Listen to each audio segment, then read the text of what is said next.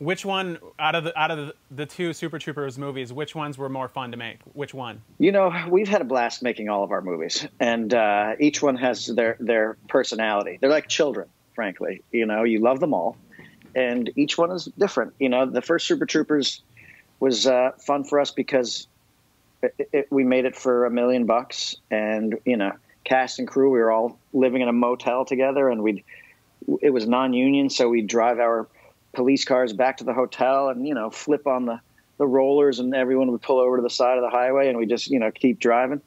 Um, and you know super troopers 2 was great because we had more money to do what we wanted to do and you know obviously it had been you know it was nice to revisit the characters and uh, you know i mean they've both been a blast to make